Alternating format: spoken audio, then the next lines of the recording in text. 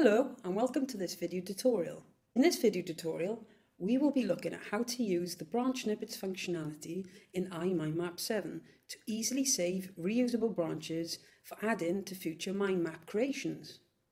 Snippets are great for branches that you use a lot, such as days of the week and other commonly used branch types. Let's take a look at how to do this. As you can see, I have my mind map on the screen and I wish to save some of the branches to reuse in another project.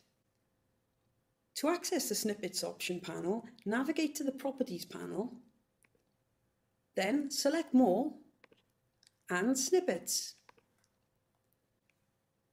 To save a branch selection that I wish to add to my snippets library, I simply select the main branch that I wish to add to my snippets. To save the branch selection, I then select Snippet Notice how my snippet has been added to my library. I will give my snippet a name.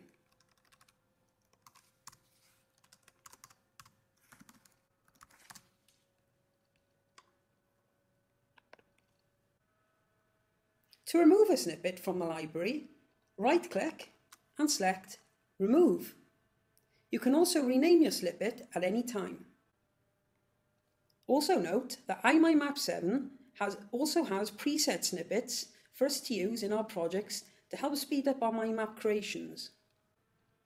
Now, let's insert our created snippet into another project. Notice that I have a central idea on the screen. I will select this, then navigate to the snippets panel. Here is my snippet. I can now select insert and my snippet has been added to my mind map. We can also choose to organise our branches by creating categories. Let's create a category.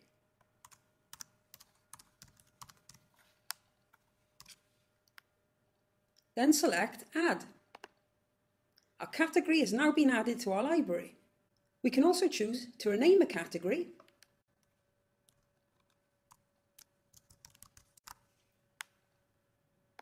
and remove a category.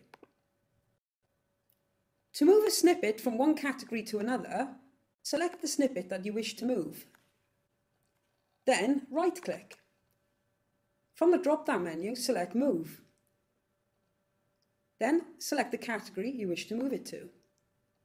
Note that my snippet has now been added to my category. I hope you can see the power of using branch snippets to speed up your workflow.